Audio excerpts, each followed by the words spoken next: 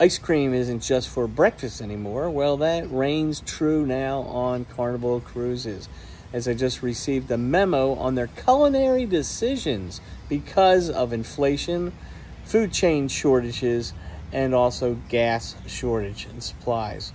So from now on, the soft serve ice cream and yogurt on Carnival Cruises is no longer 24 hours a day. It's 11 o'clock in the morning till midnight. So no ice cream for late nighters or early risers. The other thing they've implemented is lobster dinners are only offered now on six day and above Carnival cruises.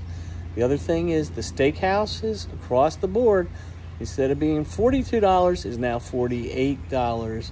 And if you want a third entree in the dining hall, it's going to cost you five extra dollars. Till then, you all have a good day.